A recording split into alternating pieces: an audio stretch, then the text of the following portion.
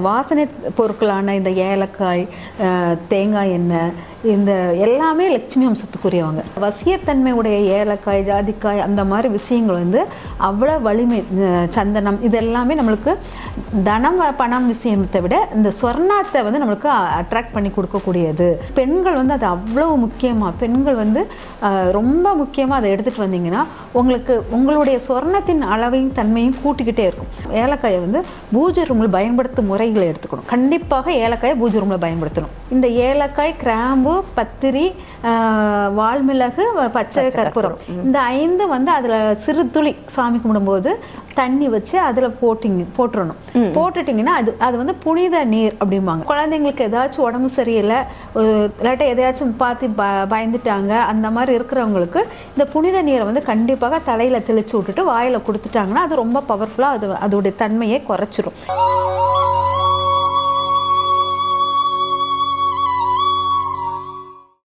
ஆன்மீக உலா நேயர்களுக்கு அன்பான வணக்கங்கள். நம்ம வீட்டில் இருக்கக்கூடிய வாசனை பொருட்கள் இருக்கு இல்லையா? நம்ம சமையலுக்கு பயன்படுத்துவோமே. அது எல்லாத்துலேயுமே ஏதாவது ஒரு வசியத்தன்மை இருக்குங்க. அந்த மாதிரி இரண்டு பொருட்களை குறித்து தான் நம்ம இன்னைக்கு கேட்டு தெரிஞ்சுக்க இருக்கிறோம். குறிப்பாக ஏலக்காயும் கிராமும் என்ன மாதிரி வசியத்தன்மை இருக்கக்கூடிய ஒரு பொருட்கள் அதை எப்படி நம்ம பயன்படுத்தலாம்? இது குறித்த விளக்கங்கள் தரதுக்காகவே நம்மளுடைய ஆன்மீக உல அரங்கத்தில் இணைந்திருக்காங்க.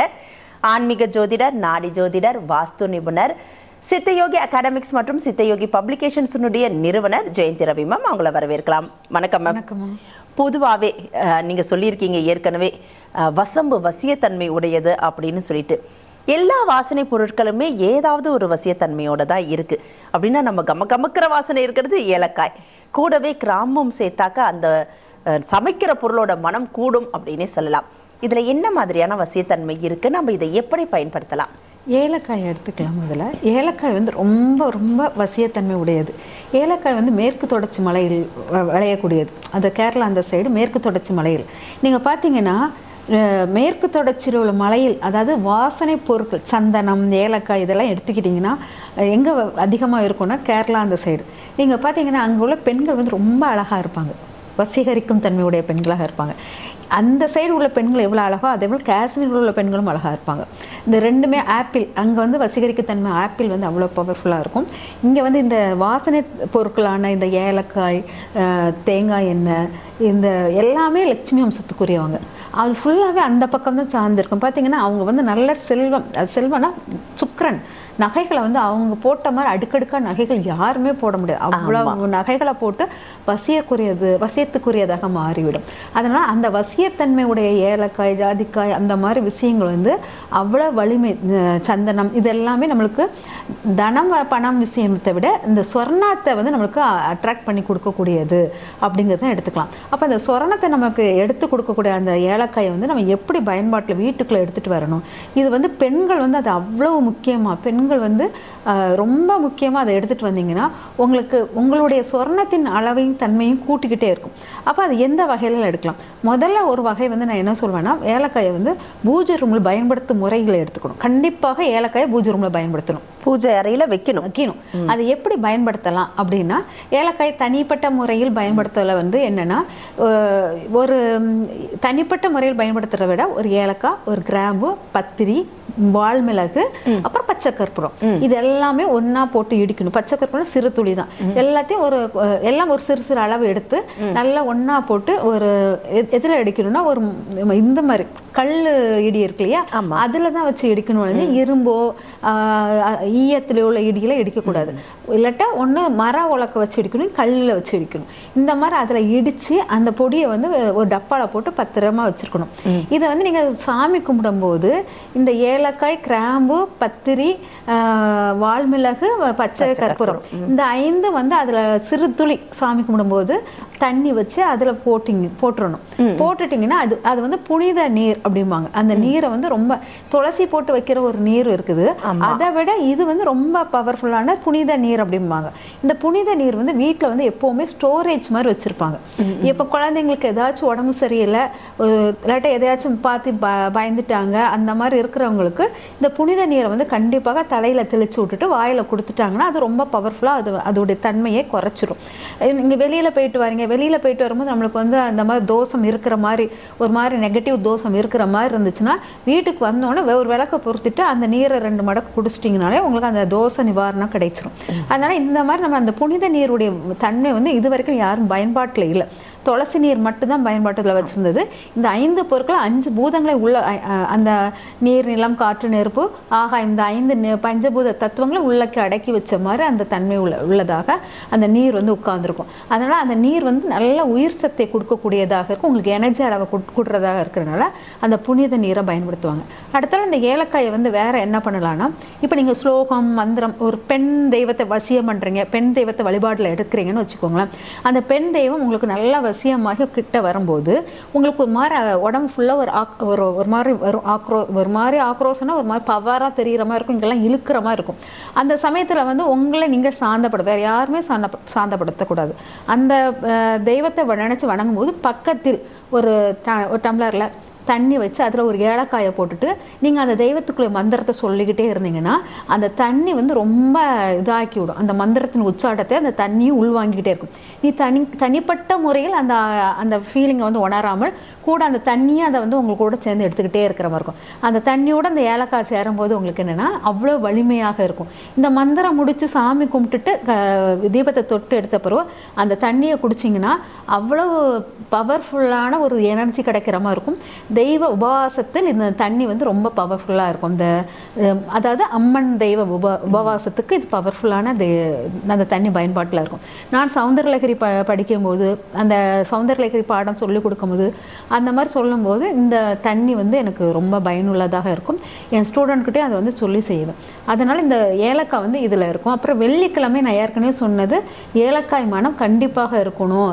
பாயாசத்தில் இனிப்போட சேர்ந்து. அப்போ வெள்ளிக்கிழமை அந்த பாயாசத்தோட இனிப்போட சேரணும்னா அப்போ கல்கண்டோடன் சேர்ந்த ஒரு ஏலக்காய் வந்து எப்போவுமே வீட்டுக்குள்ளே இருக்கிறது.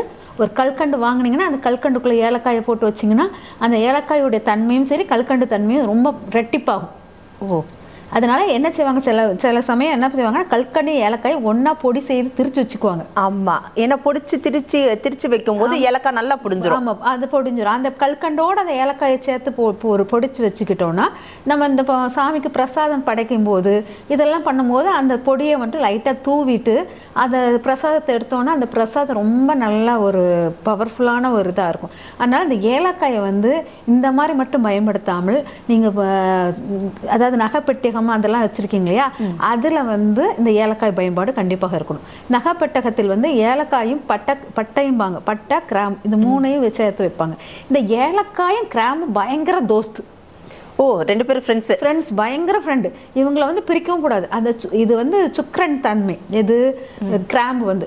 அதாவது ஒரு ஒருத்தருக்கு வந்து அந்த அதாவது ஒரு தோல் சுருக்கம் தோலில் வந்து சுருக்கம் வராமல் இருக்கிறதுக்கு அப்புறம் ஒரு மாதிரி இந்த பூஞ்சைகள் உருவாகிற தன்மை உடைய இடத்துக்குலாம் இந்த கிராம்பை போட்டால் சரியாயிரும். அவ்வளோ பெரிய இந்த பல்வலிக்கெல்லாம் போடுவாங்களா அதே போல தான் இது கிராம்பு வந்து ரொம்ப பவர்ஃபுல்லானது தோல் சுருக்கத்தை அப்போது அழகை மேம்படுத்தி கொடுக்கக்கூடிய ஒரு அளவு அந்த கிராம்புக்கு இருக்கு. நம்மளுடைய அழகை மேம்படுத்தி கொடுக்கு. அப்போ அது சுக்கிரனுடைய வலிமை அவ்வளோ பவர்ஃபுல்லாக இருக்கு. அப்போ இந்த ஏலக்காயும் சுக்கிரனையும் அவ்வளோ ஒன்று சேர்த்தீங்கன்னா உங்கள் வீட்டில் வந்து ஐஸ்வர்யத்துக்கு ஏதாச்சும் குறைவு இருக்குமானா இருக்கவே இருக்காது. இப்போ மகாலட்சுமி ஃபோட்டோ இருக்குதுன்னா அந்த மகாலட்சுமி ஃபோட்டோவில் ஏலக்காவும் கிராம்பும் சேர்ந்து மாலை போடுறாங்க இல்லையா? அதெல்லாம் அவ்வளோ சக்தியானது. நம்ம சாதாரண மல்லிகைப்பூ அதெல்லாம் போட்டால் கூட நமக்கு அது வந்து அப்படியே வாடிடும் திரும்ப எடுத்தால் இது இது வந்து அந்த வாசனை போகிற வரைக்கும் அது இருக்கும். குறைஞ்சது ஒரு நாலு மாதம் அஞ்சு மாதத்துக்கு வரைக்குமே அது- அது வந்து ரேட் அதிகம். நீங்கள் ஒன்றுமே இல்லை நீங்களே தயார் பண்ணலாம் அந்த ஏலக்காவை. அந்த மாதிரி தயார் பண்ணி ஏலக்காயும் கிராமும் இருக்கிற மாதிரி அந்த மாலையை எடுத்துகிட்டு வந்தீங்கன்னா உங்களுக்கு ரொம்ப வலிமை அதிகமாக இருக்கும். அதே மாதிரி மகாலட்சுமி வழிபாடு குபேரன் வழிபாடு அப்போ விபு இந்த பச்சை கருப்பத்தோட காமிப்போம் இல்லையா தீபாரதனை. அதனுடன் அந்த ஏலக்காவையும் கிராமையும் சேர்த்து எரிச்சு காமிச்சிங்கன்னா அந்த மனம் சேர்ந்து அது பச்சை கருப்பத்து ஒரு ஒரு ஏலக்காய் ஒரு கிராம்பு ரொம்பலாம் சேர்க்கக்கூடாது. ஒரு ஏலக்காய் ஒரு கிராம்பு அதனுடன் இந்த பச்சை கருப்பத்தையும் கொஞ்சம் நிறைய போட்டு அது தீபாரணை காட்டும்போது அது வந்து அவ்வளவு ரொம்ப நல்ல மனமாகவும் அது ரொம்ப வசீகரிக்கும் தன்மையாகவும் மாறிவிடும். ரொம்ப அழகா ஏலக்காய் பத்தி சொன்னீங்க மேம். அடுத்து கிராம்பு இருக்கு. கிராம்பும் சேர்ந்து நிறைய விஷயங்கள் சொல்லியிருக்கீங்க. கிராம்பை தனியா என்னெல்லாம் பண்ணலாம்? கிராம்பு வந்து நம்ம நம்ம அதான் சொன்னது பூஞ்சைகளுக்கு அந்த மாதிரி எடுத்துறதை விட நம்மளுடைய சமையலில் வந்து அந்த கிராம்பு பயன்பாடு அதிகமாக இருக்கும். அது வந்து காரத்துடன் சேர்ந்த கிராம்பு பயன்படுத்தும் போது காரமும் கிராம்பும் சேர்றது வந்து ரொம்ப நல்லாயிருக்கும் அந்த அதாவது நம்ம காரமான சாப்பாடு அதாவது ஏலக்காய் வந்து இனிப்புடன் சேர்க்கணும் கிராம்பை வந்து காரத்துடன் சேர்க்கணும். அந்த மாதிரி சேர்த்து பயன்படுத்தும் போது அதனுடைய மகத்துவம் தனித்து இருக்கும். இப்போ கிராம்பை வந்து நம்ம வந்து காரம்னா இப்போ பிரியாணி பண்ணுவாங்க அதில் ஏதாச்சும் அந்த கிராம்பை போடுறது. கிராம்பை வந்து சும்மா சும்மாவே பல்லில் வச்சு இடுக்கில் வச்சு நீங்கள் ஒரு ஆள்கிட்ட பேசும்போது அந்த கிராம்பு ஒரு பாய் வாய் இடுக்கில் ஒரு சொத்து விஷயம் அந்த அதை வச்சிருக்கதே தெரியக்கூடாது. லைட்டாக வாயில் வச்சுக்கிட்டு ஒரு சொத்து விஷயமோ பண விஷயம் நகை எடுக்க போகும்போது தங்க நகை எடுக்க போகும்போது அந்த சமயத்தில் அந்த கிராம்பை லைட்டாக வாயில் வச்சுக்கிட்டே பேசுனீங்கன்னா உங்களுக்கு அந்த இது கிடைக்கும். அந்த பணங்கள் எல்லாமே ரெட்டிப்பாக இருக்கும். அதுவே ஒரு கடன் அடைக்க போகும்போது அந்த சமயத்துலலாம் அந்த பல்லோட சேர்த்து வச்சு பேசுனீங்கன்னா ஈஸியாக கடன் அடைஞ்சிடும் அந்த கடன் படப்படப்படன்னு அடையும். அதனால் அந்த கிராம்பை வந்து வாயில் வைத்து அதாவது ஏலக்காவே தண்ணீரில் போட்டு குடிங்கம்ம ஆமா. அதை இது கிராம்பை வந்து பல்லுடன் பல்லு இடுக்கு பல்லு வந்து செவ்வாய் காரகத்துவம் கிராம்பு சுக்கிரன் காரகத்துவம். அதனால அதை பல்லு இடுக்கில் வச்சு கடிச்சுக்கிட்டு கிராம்பை வந்து பேசுனீங்கன்னா செவ்வாய் சுக்கிரன் வந்து ரொம்ப பவர்ஃபுல்லானது கணவன் மனைவி ஒற்றுமைக்கும் சரி அது வந்து நான் வெந்தயத்துலேருந்து எல்லாத்துக்கும் சொல்லியிருக்கேன். அதனால அந்த கிராம்போட சேர்ந்த பல்லை வச்சுக்கிட்டு நீங்கள் பேசினா கடன் அடைதல் அதனால பல் சொத்தைக்கு கிராம்பு யூஸ் பண்ணுவோம். ஆமா. அந்த பல் சொத்தையா இருந்தால் அந்த கிராம்பு யூஸ் பண்ணும் அப்போ ஒரு கடன் அடையணும்னா அந்த கிராம்பு பல்லுடன் சேர்ந்தா அவங்க கடன் அடையுமா? அடையாது? கண்டிப்பாக அடையும்.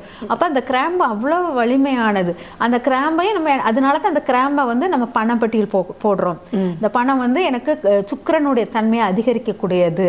வீட்டில் வந்து நிலவாசலில் உங்களுக்கு கண்ணுக்கு தெரியாத அந்த மாலைகளில் சின்ன ஒரு கிராம்பை கட்டி அதில் தொங்க விட்டதும் நல்லது தான் ஓ நிலவாசல் நல்ல வசதி அந்த லட்சுமியுடன் சேர்ந்து. இப்போ மாத்தோரணம் கட்டுறீங்கன்னா. அந்த மாத்தோரணத்தை ஒரு சி- சின்ன ஒரு கிராம் இருந்தாலே போதும். நீங்க பெருசா எடுக்கலாம் வேண்டாம். அந்த மாதிரி ஒரு கிராம்பை மட்டும் இல்லாட்டா இது பண்ணி விட்டுட்டீங்கன்னா அது ரொம்ப நல்லா இருக்கும். ஒரு நூல்ல கட்டி அப்படியே அந்த அந்த அந்த மா இலையோடன் சேர்த்து. நீங்க ஃபுல்லா தோரண மாதிரிலாம் கட்டணும் தேவையில்லை. மா இலையோடன் சேர்த்து அதை கட்டினீங்கன்னா அதுவும் ரொம்ப வலிமையா இருக்கும். ஏன்னா மேலே தலைகளுக்கு மேல் லட்சுமி இருக்கிறாள். லட்சுமியுடன் மா இலையுடன் அந்த கிராம்பு இருக்கும்போது ரொம்ப வலிமையாக இருக்கும். அதனால தான் வெத்தலைப்பாக்கு போடும்போது கூட கிராம்பு உள்ளுக்கு வச்சு போடுவோம். அந்த பல்லுல கடிப்படணுங்கிறதுக்காக அதனால பல்லுடன் சேர வேண்டியது கிராம்பு தண்ணியுடன் சேர வேண்டியது ஏலக்காய். ஏலக்காய். ரொம்ப அழகா சொன்னீங்க மேம். எப்பவுமே நம்ம வந்து சமையல் அறையில ஏலக்காயும் கிராமும் யூஸ் பண்றோம். ஆனா அதை பூஜை அறையில எப்படி பயன்படுத்துறது? நகைப்பட்டியிலையும் பணத்தையும் வசீகரிக்கிறதுக்கு என்னெல்லாம் செய்யணுங்கிறத அழகா நம்மளுடைய ஆன்மீக உலா நேயர்களுக்காக பகிர்ந்திருக்கீங்க. ரொம்ப நன்றி மேம்.